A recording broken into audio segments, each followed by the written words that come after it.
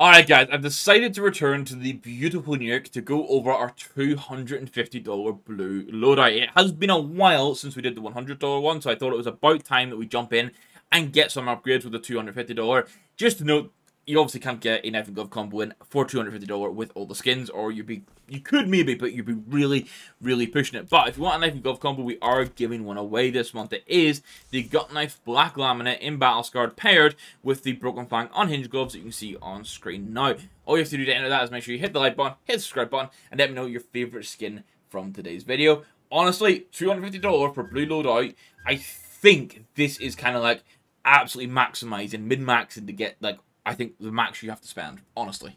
If you want the best place to buy and sell your CS2 skins, then look no further than today's sponsor, Skinport. Skinport offers users a fast, smooth, easy and secure experience for buying and selling Counter-Strike skins with the benefit of items being much cheaper compared to buying on the Steam community market. This is the way. This is the way. There are no buying fees, selling fees range between 2 to 12%, and there's over 1 million skins available on Skinport at any time.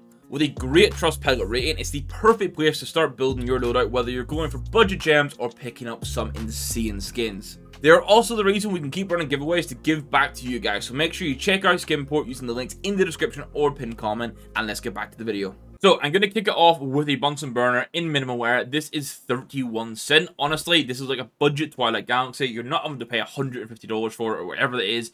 31 cent for this. It looks incredibly good. Do cheap craft and you're away. The USP is one area where I'd maybe consider using the likes of a Monster Mashup, even though it's blue and green, but I have gone for a blueprint here, $8.14 in minimal wear. These prices, by the way, are from around the 19th of May, so allow for some variance. But, um, obviously, if you're go for blue, it's perfect. There's so much blue on this. Now, if you're a P2000 enjoyer, I'm actually including this in the price, so we're going to spend $20 in total to get our USP and our P2000. Fire Elemental, incredibly cool skin. The blue and the orange looks incredibly good. Obviously, if you don't use a P2000 at all, you can save yourself like the $12 uh, and get rid of this and use it elsewhere. Maybe use that for sticker crafts. Then I'm going to have a Midnight Storm for the Desert Eagle. Now, I believe this actually starts around $26, $27, but I budgeted pretty much $29 because uh, I think up to $30 is what you can expect to pay and overpay to get a low float. Now, by low float, I don't mean necessarily going for a double zero float or anything, but getting it to like as close to 0.01 as possible to remove as much as the marks as possible is what you want to do here. And I have a 0.01 equipped now. You can see how clean it looks in comparison. Then I'm going to go for what I would say now, top 5 AK skin, The Inheritance. And this one isn't field tested, believe it or not. So $75 pretty much for field test. As I always say, this is from the Kilowatt case, so expect this price to drop a bit over the next few months. But I would say we're getting close to the point where if you're going to be using this for the next year, pick it up now for $75 rather than waiting, I don't know, six months to get it for 55 instead. I think you're going to get $20 worth of value from it in that time. So it's pretty fine to pick up. Then for the M4A1-S, we're going to get oh, an incredible skin. I love this. It's the Nightmare. $18.55 for minimal wear. I always say this is a budget Icarus Fell, if not better. Now, I still personally would prefer the Icarus Fell because like the, the lore and the story behind it and stuff like that. And it's just, it's something a bit more flashy in game, right? That's just the expensive taste talking. But artwork wise and brightness wise, this for under $20 compared to 400 and, uh, 400 to $450, insanely good. Now, for the M4A4, the Emperor, you can kind of get away with field test and maybe save yourself like $15, but I think going for minware for 33 fits into the budget really nicely. It means you're going to have basically an M4A4 that you, like the magazine looks clean, you're not going to have to worry about upgrading at any point. Could you put money on which op I'm going to pick? Because it is indeed going to be the Atheris. I, I looked at the likes of the Corticera and the Man of War and stuff, but for the prices, like you're paying $20 plus for those. I think paying $6 max for a Minware Atheris with this blue base and the green accents.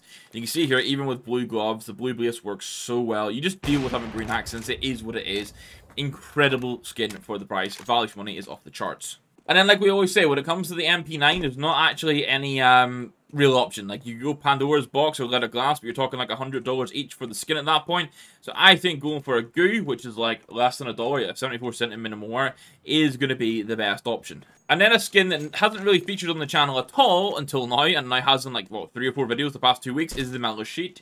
Or the, it is the Malachite. It is um, $1.88 in minimum wear. It's incredibly bright blue. Honestly, I absolutely love this skin now. And then similar to the previous video, we're actually going to spend a decent amount on the P250. And I'm going to go for an undertow here, which is $28. But with the case this is in, with the current market, it's likely this is just going to increase in the price. Maybe not like crazy shooting up to $50, but it should hold its value pretty well. And honestly, I think it's an, an incredibly cool skin. Uh, initially, when I first saw it, I didn't like the tone of like the black bit on top and the blue beneath it, but overall, it does look pretty damn good, and you can pick these up with some nice stickers. Hello, matey. For the Tec-9, we're going to have the Avalanche. Now, this is the blue with the orange accent. You guys know we always like this.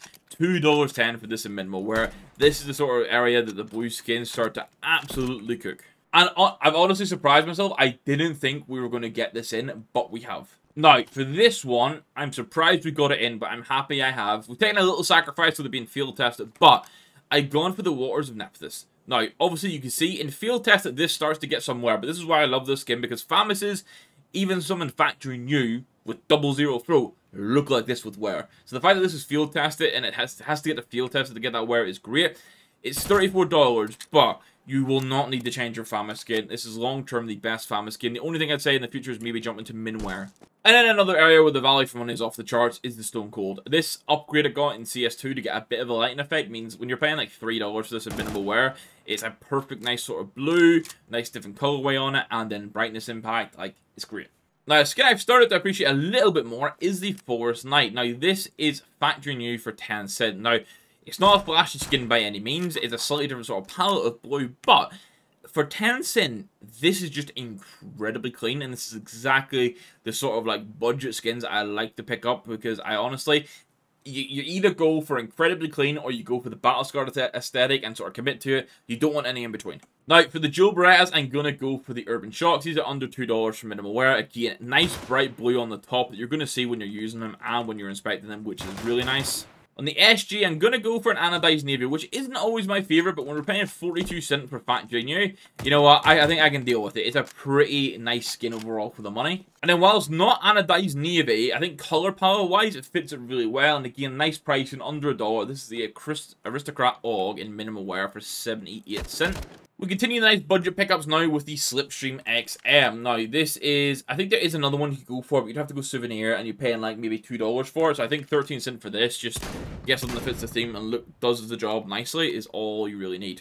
And another budget gem, it's the Cirrus uh, MP7. 15 cent for this, lighting effect. So this is very, very similar to the Stone Cold artwork, which again pairs them quite nice when you have both of them, but it is very similar with those blues and the blacks and the lighting effect. And then we have the Abyss for the Scout, which is pattern based, and it, it does change color as you change float, but I think overall for a blue loadout, minimum wear is the sweet spot here for half a dollar. Now, that means this loadout comes out at $256.03. So we're $6 over the $250 mark, but that's well within our 5% to 10% buffer, like well under the 5% buffer, which is really nice. And like, like I said at the start, I think overall, this is a sweet spot for a loadout, honestly. Like, don't get me wrong, there are some areas you could go and try to upgrade to. The Deagle, you could try and go for a Cobalt Disruption. The AWP, you, oh, you could get a Gungnir at some point. If you wanted the Ultimate one, obviously you can make it more expensive. But value for money for play skin wise, I think $250 for blue is pretty much the perfect sort of area. And then obviously the conversation has to come around knife and glove combos where maybe you look to spend anywhere between 300 to 500 to get yourself a nice combination. But that's going to be me for today. Just a reminder that there is the giveaway knife and glove combo that's going to be picked at the either the end of the month or the very, very beginning of June. It is the gut knife black laminate with the Broken Fang unhinged gloves in field tested. Make sure you hit that like button, hit the subscribe button, and leave a comment down below letting me know your favorite skin from today's video. That's how you'll enter it, and then we'll pick it. It's going to go into a big spinning wheel. We'll do it live on stream and we'll see who wins the combination. I said that, guys, thank you very much for watching. I hope you enjoyed it. I hope you're still enjoying this series. And yeah, we'll have some more videos coming soon. Thank you for watching. We'll catch you in the next one. Goodbye.